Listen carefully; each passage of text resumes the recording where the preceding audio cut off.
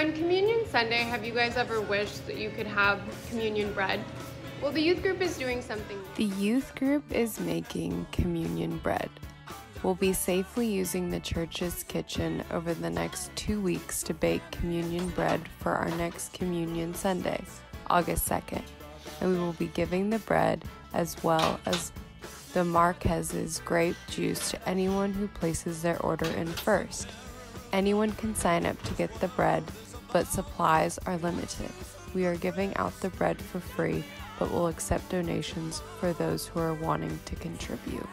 Hey, junior high and senior high. Uh, there's an opportunity for us to bake the communion bread in this kitchen this week and next week for August 2nd. Uh, socially distance, of course. It's a great opportunity for us to come and see each other. So if you want to do it, make sure to get a hold of Amanda as soon as possible because only so many people can be in the kitchen at one time. Good morning, everyone. If you would like to get your order in, please contact Susan at this email below. Don't worry about if you're not able to come pick it up. We will have various options for pickup and drop off, so we're good.